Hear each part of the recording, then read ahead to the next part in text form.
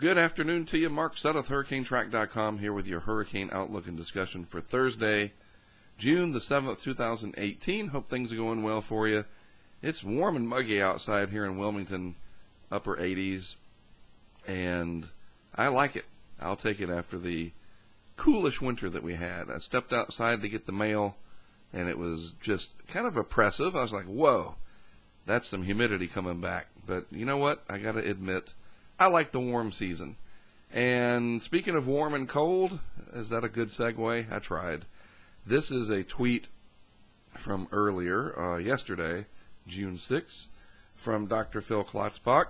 Excuse me, I have, maybe I have grass pollen allergies or something, who knows. Um, yesterday, he talked about this cold main development region being the coldest for June since early 1985, or June 1985. That's what I meant to say. The second coldest on record, or yeah, he says coldest, since 1982. And the only other colder year was 85, right? So then, and we've heard all about this, uh, this retort, if you will, from Dr. Rick Knabb, former director of the National Hurricane Center, currently at the Weather Channel. Well, while you're mentioning 1985, let's look at the map. And I thought that was pretty um, what's the word I'm looking for? A clever response because this shows you that just because the main development region, and this is what I've, I have been talking about for the last several weeks, maybe this is hostile and you're not going to have much out here. But look at 85. We had six hurricanes that hit the U.S. that year, and one of those was Gloria. And for a lot of you out there that are around my age, you know, mid 40s or so, Gloria is what got you your start. And heck, I mean, it was a big part for me. Hurricane Diana in 1984 is really where I got my start with an interest in hurricanes. And then a year later was Gloria. I live right here in southeast North Carolina, and Diana and Gloria both very close to my neck of the woods. That was a very busy season, 1985, in terms of impact. And look at the main thing here north and west of the main development region is where these systems developed. And to that end, Gloria did get its start in the main development region later on in September, of course, but it's not cold. And that's what I'm trying to tell you. It's not like it's 55 degrees out there. Woo, it's chilly and nothing's going to develop. In fact, it's starting to warm up. Here is the anomaly chart from today, the NOAA NESDIS method. And there are different methodologies and climatology background sets. Instead of showing all of them and then trying to remember which one showed what, I have been consistent in showing this one, this particular data set, for years. I like it. I like the archives. And so that's what I've stuck with. There's just a whole bunch of different variations and anyway, so this is what it looks like today. And let's change this color to what green. Maybe green will show up a little better. There we go. Yellowish green. This is the area that we're talking about. And let's compare that to a week ago. All right, so let me just highlight this area through here, roughly the main development region. That's what we're talking about. This is today. This is a week ago. And you notice, especially right off the coast of Africa, right there, watch today. And just generally the overall warm up, yeah, it's happening. You're losing a lot of these deeper blues. They're trading up for lighter blues. And even, you know, around Florida and the Western Caribbean, it's filling in with warmth. The cold, uh, I'm sorry, the warm, uh, huge warm anomaly up here is also starting to break up a little bit, dissipate some.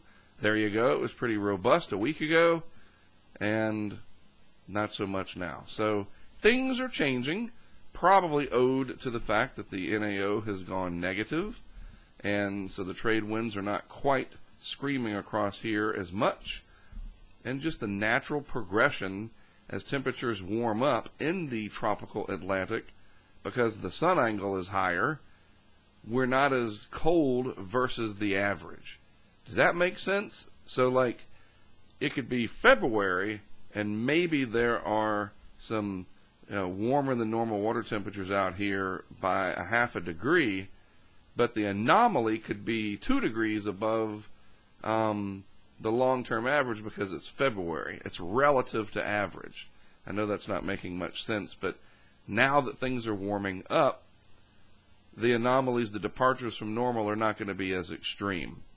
It would be different if there was no warming at all and there was some mechanism, you know, like somebody parked an iceberg out in the MDR and it was just bleeding off cold water, melt water, and we never saw any warming. So now that things are warming, the change relative to average is not so dramatic. All right? So there you go. A week ago and now, and you can definitely see some changes there. And we'll monitor this. We'll see what happens. And let me point out, too, that Dr. Knabb says that it does not mean, right there, doesn't mean that this map will happen again this year. Uh, analogies and, you know, these, what we call the uh, analog years, are not exact matches, but they can be a guide a little bit. All right? But don't confuse that for saying, oh, we're going to have another 1985. It's just strikingly similar. All right, moving along in the Atlantic, nothing yet, but that might begin to change. We'll have to wait and see. In the Pacific, of course, we do have Aletta, and it is a tropical storm, almost a hurricane. It will be a hurricane soon. It probably technically is now. I'll show you why I think that in a moment. And then we have East Pac Invest Area 92E. Uh, remember we talked about that the other day? They get the numbers 90 through 99 for areas of investigation, and the letter EP for Eastern Pacific, and we just shorten it to E, or at least I do. In the Atlantic, it's the letter L or AL, and we just call them 92L or whatever. So there it is. This is going to develop over the next few days. The cloud shot showing both systems. We'll switch back to red here. Aletta, and this is soon to be Bud. This will be a little bit closer to land. Aletta uh, may come up here closer to the Baja before all is said and done. And here's the satellite presentation of Aletta. And there it is. You can see that eye trying to pop out right there in the central dense overcast. What's that? That's that circular area right there, the CDO. Excellent spiral banding kind of struggling with the spiral banding over here because this is coming across cooler water. A more stable air mass resides above that cooler water, but Aletta still over fairly warm water for the time being, and it's able to strengthen. This is courtesy, by the way, of weathernerds.org, just so you know. The floaters from the National Hurricane Center site not happening yet is frustrating. Uh, I realize we have all this new GOES-16 stuff. But anyway, uh, it'd be nice. Hey, you know what? We'll just watch it here. That's fine. National Hurricane Center has other phenomenal products, and I'm happy for that. So we won't complain too much. I just miss the old days of the SSD. Remember the Satellite Services Division floaters? They were there. You clicked on them. You got a GIF animation. You were good to go. And it's just harder. That's all. But we have high res, you know, um, satellite imagery now. It's like 4K. It's amazing. I don't know that it's 4K, but it's it's just incredible resolution, and so they're trying to figure out how best to do it. I guess I don't know. We'll hope for a, floater section in the future. So here's the GFS for the Eastern Pacific as it runs. I'll outline California, the Baja right there, coast of Mexico, Central America, Yucatan, and Florida. There is Aletta getting closer to the Baja in this, this particular run of the GFS. One run, the operational deterministic run, yes, there are a bunch of ensemble members, but again, man, we could sit here for an hour and a half going through all the different ensembles. So this just gives me a good idea from the deterministic operational run of what looks likely to happen over the next five days. And a little closer to the Baja, but remember the water temperatures up in this area are cooler.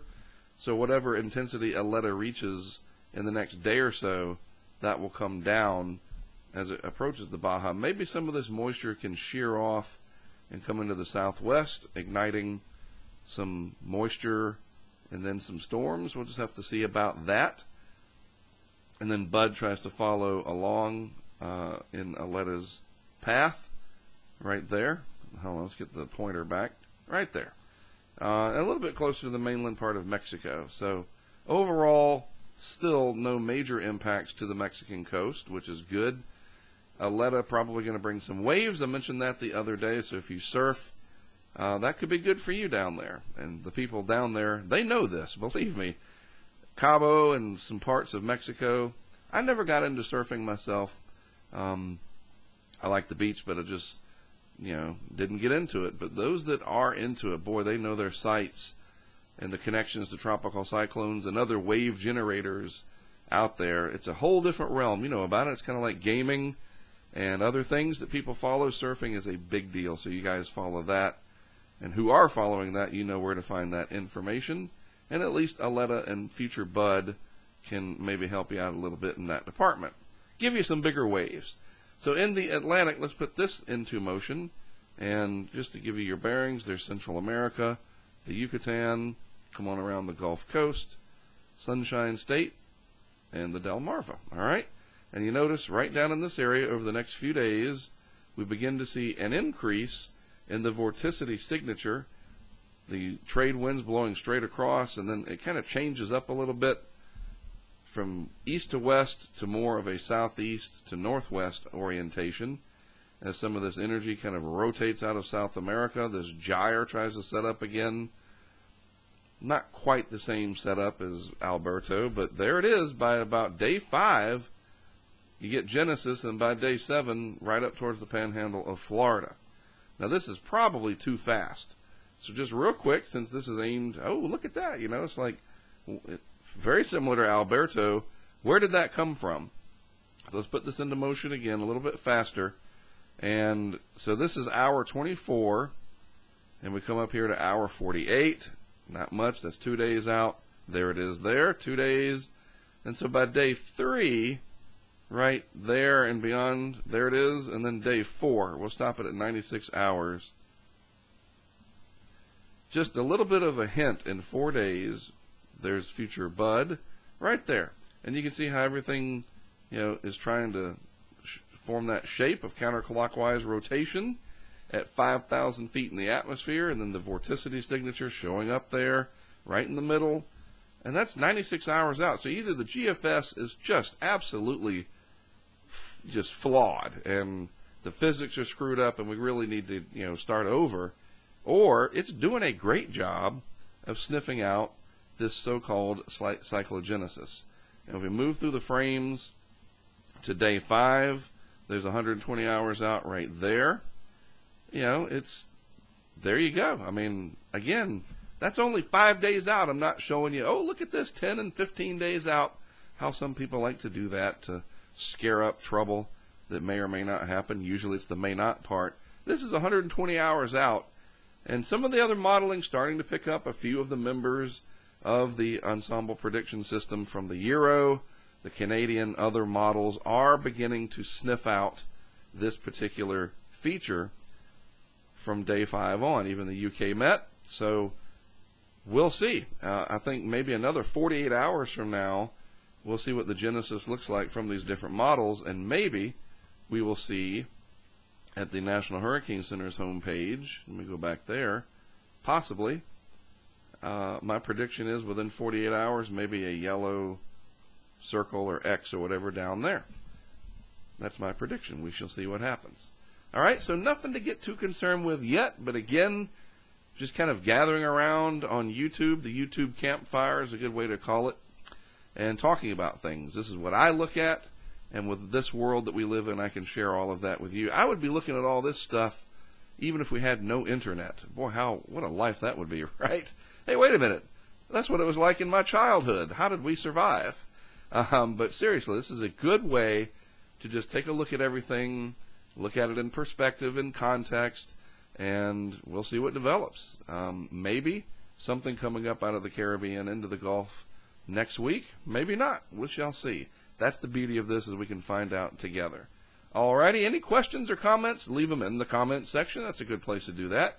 You can also email me, Hurrmark, H-U-R-R-M-A-R-K, Hurrmark, first four letters of hurricane, H-U-R-R-M-A-R-K at gmail.com. And on uh, Mondays, I like to read some of the emails that come in. Uh, call it the Monday mailbag. But we also might be talking about more activity in the Atlantic. Who knows? All right. Have a great rest of your Thursday. I do appreciate you tuning in. I am Mark Sudduth, HurricaneTrack.com. I'll be back with more for you tomorrow.